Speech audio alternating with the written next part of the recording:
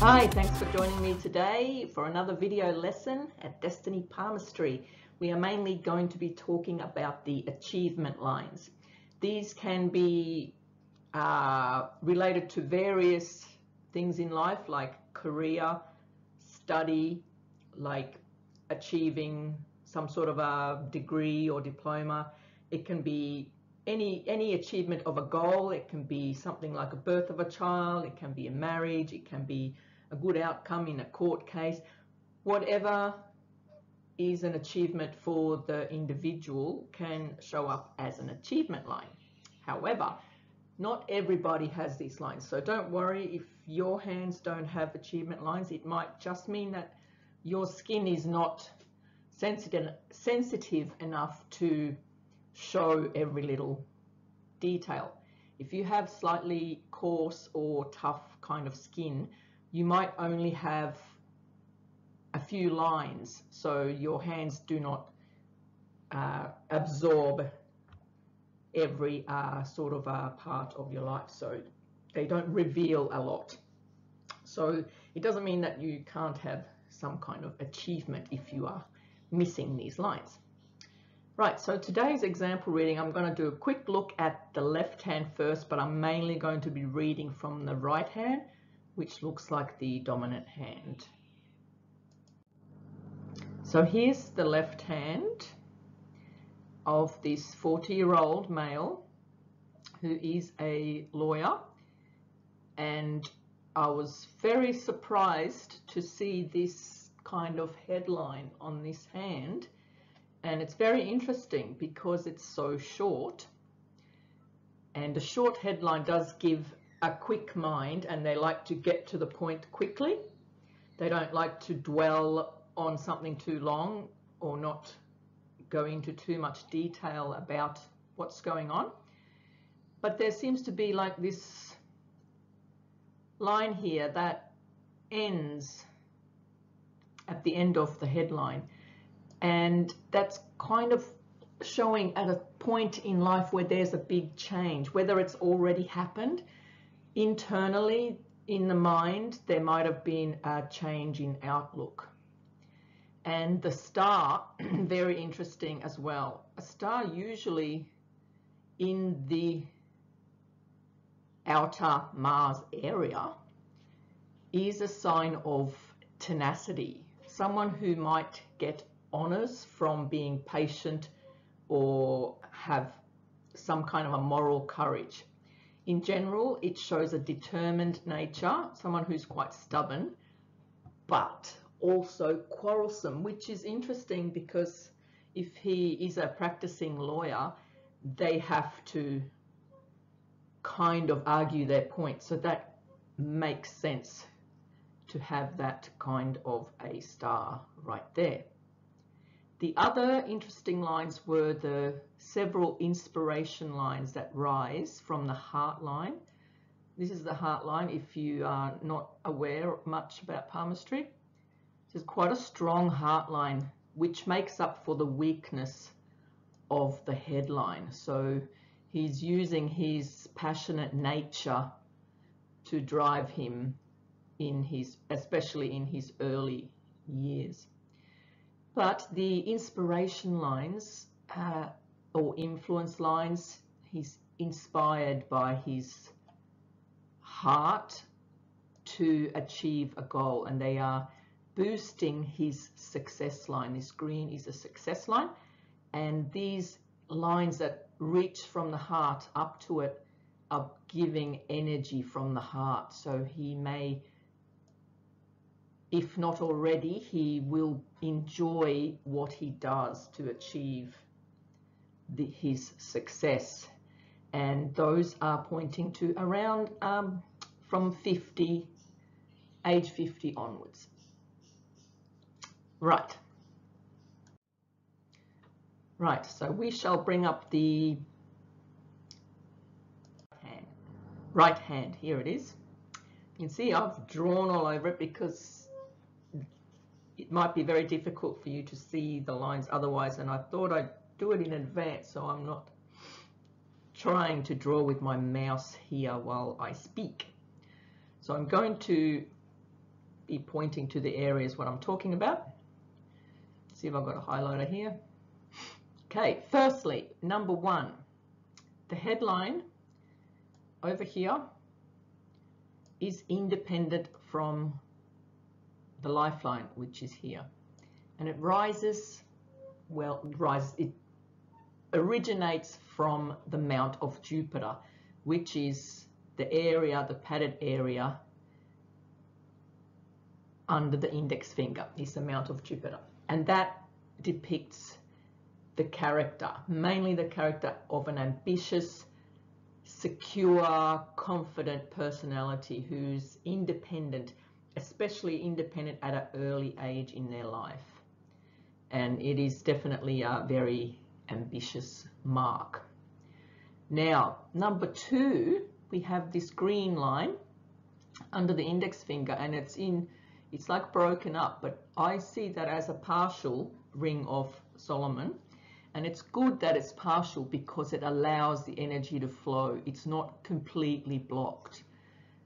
But it does show some selfless and intuitive abilities, a selfless nature with some intuitive abilities. And someone who understands people, they understand what they're going through, whether they are going through hard times or good times, and they almost sense it. They, they probably only have to speak to the person and they, they sense what that person is going through, through their feeling or facial expressions or whatever it may be. So that's a good mark to have there. Number three, we are starting with some achievement lines. Excuse me if I keep have to clearing my throat. It's a little bit dry today.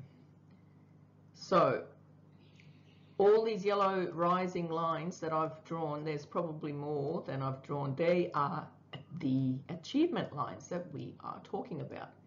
And there are many on this lifeline here. Some of these achievement lines start at an early age, like probably as young as 15, right through 21, 28, 35, 40s, and so on. So they're, they're all very positive markings there. Now, the blue lines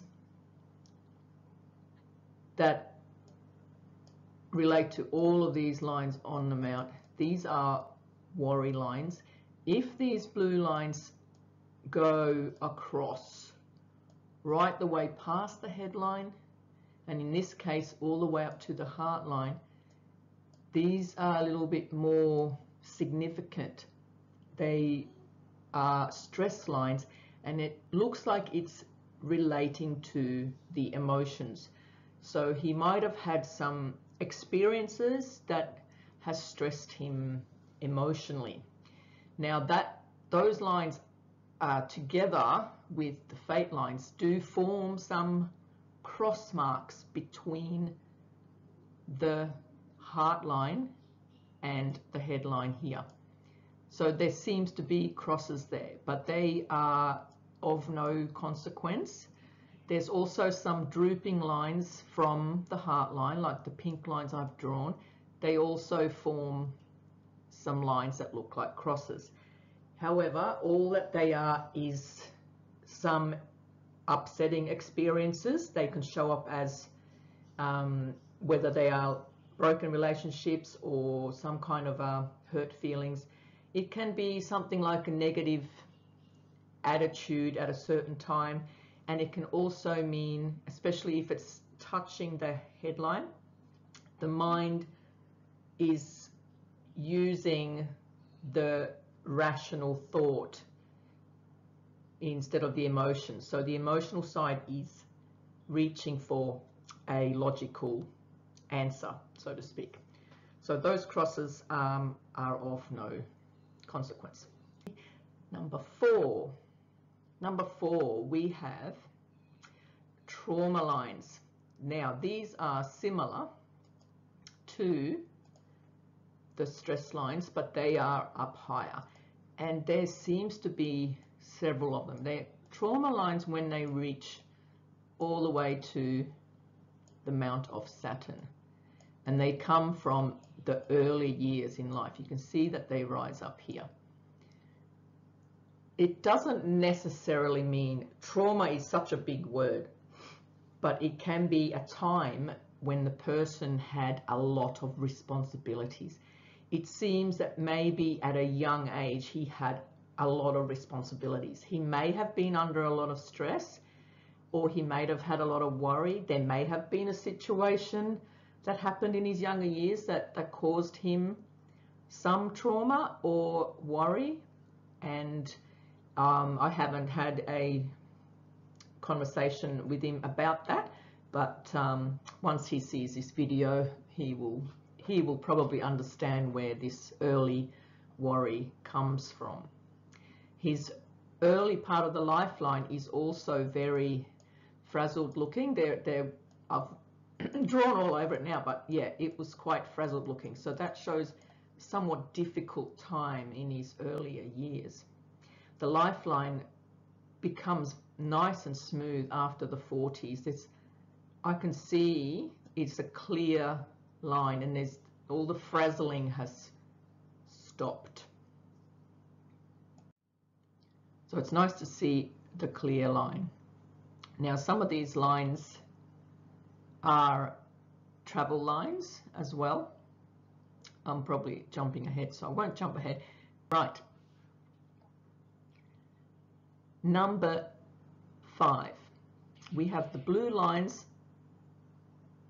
that come between the index and middle and the ring and pinky finger. That is a partial girdle of Venus. A girdle of Venus normally, a full girdle of Venus goes across like that. It is quite rare to have a full girdle of Venus and it's good that it's not uh, complete because it, it lessens the meaning of it. A girdle of Venus always enhances the personality, whatever the personality is. If the person is always angry, then the girdle of Venus gives more to it. It shows a sensitive and passionate nature, but that sensitivity and passion can go any way. You can be sensitive and get angry quickly. You can be sensitive and creative. You can be sensitive and psychic. There's many ways to be sensitive and there's many different ways to be passionate. So that is um, what those blue lines represent.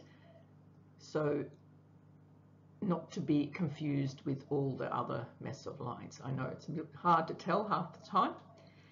Right, number six. Now we have the, in the red, down here we have the, the fate line that rises nicely towards the middle finger and right about what age would I say? That is an achievement line. It's a branch that rises from the fate line is another achievement line. By the way, if you would like to read about it, I've just written an article about the achievement lines on my website, destinypalmistry.com. You can go there and read more about the achievement lines and what they mean on the other lines, etc. Right, so I was just looking at what age that achievement looks like it was in the 20s, maybe mid 20s.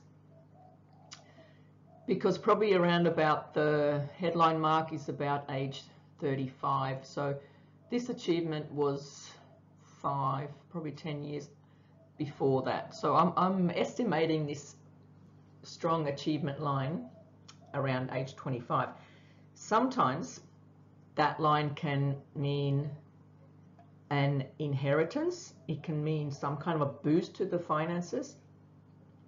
Um, uh, it can be another one of those uh, good outcomes in a court case because uh, I've seen this line when somebody, for instance, uh, went through a divorce settlement and they ended up winning the case and getting the result they wanted. So that was financially rewarding for that person. So it can also depict financial rewards of some kind at that age. Now number seven, two fate lines. Now that strengthens career and sometimes it can show a very supportive partner or it can be a business partner or it can be that the person is still studying uh, as well as doing their work. So whatever it is, there's more than one thing going on regarding the career and it just gives it more strength. And these two lines seem to stop around about the age of 50. And as you can see, the fate line continues up here towards the middle finger, but it shifts over a little bit. So that's definitely like on the left hand showing a change around the age of 50. And the line goes quite smoothly with only a few interruptions from the girdle of Venus, but that's nothing to worry about because the line just uh, goes straight through there, no problems. Now, to confirm, we are going to go back down to the lifeline now down here, where, number nine, the drooping lines that reach to other lines down here around about the same age. For that 50 mark, there is marks of change. That might mean travel, complete move, might mean moving to another country as well. And a few years later, maybe another 10 years later, there's another shift. There's another fork in the heart, not heartline, lifeline. So that shows another change again. And it's a decision. Whenever there's a fork in a line, it's a decision that can go either way. So the person might get to a point in their life and decide they're going to go one way or the other. So that could be a retirement type of decision. That's what it would seem like. Okay, now number 11, he has some nice, clean healing lines which are on the area of the Mercury, which enhance communication so some people call them communication lines and it makes sense if this person especially is a lawyer.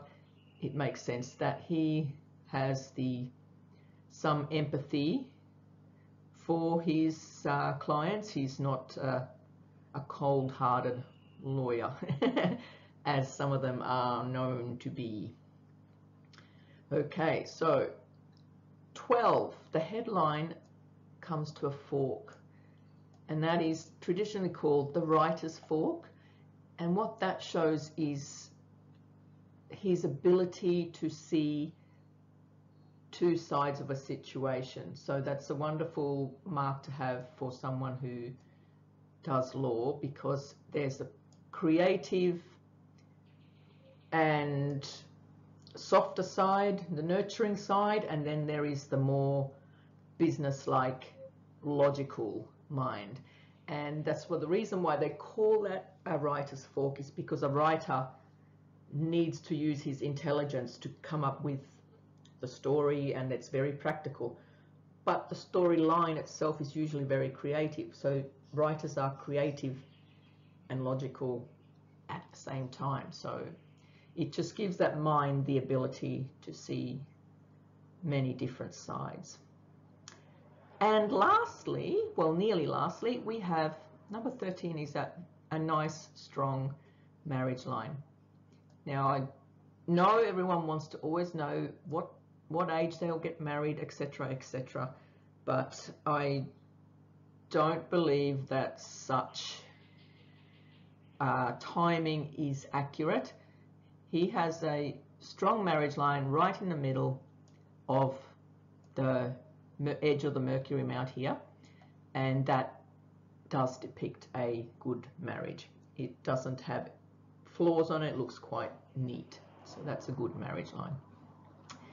And um, just wanted to point the energy. Uh, this hand shows good energy. We have uh, what looks like a plump without being overly hard mount of Venus and also a well-developed mount of Moon, which gives that energy, enthusiasm for life. Sorry about that abrupt ending. I had a corrupt file. I was lucky to retrieve what I had. I Only lost the very last couple of words of that video. That is the end. I hope you enjoyed learning today and uh, look forward to doing another video again soon. Thanks for watching.